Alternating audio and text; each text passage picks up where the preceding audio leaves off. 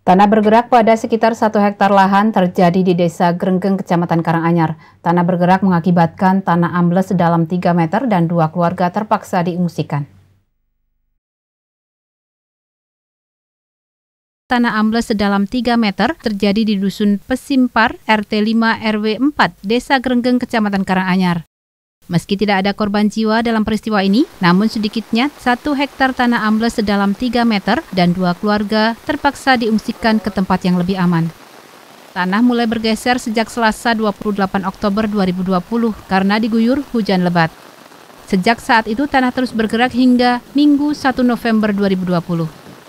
Kepala Desa Gregeng Eri Listiawan telah mengevakuasi warganya ke musola terdekat.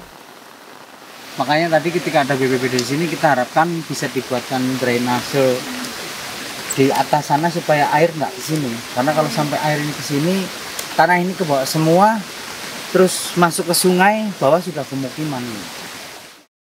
Untuk mengetahui penyebab dan faktor lain terkait longsor atau tanah bergerak tersebut, tim BPBD Kabupaten Kebumen bersama peneliti dari Lembaga Ilmu Pengetahuan Indonesia LIPI telah mendatangi tempat tersebut.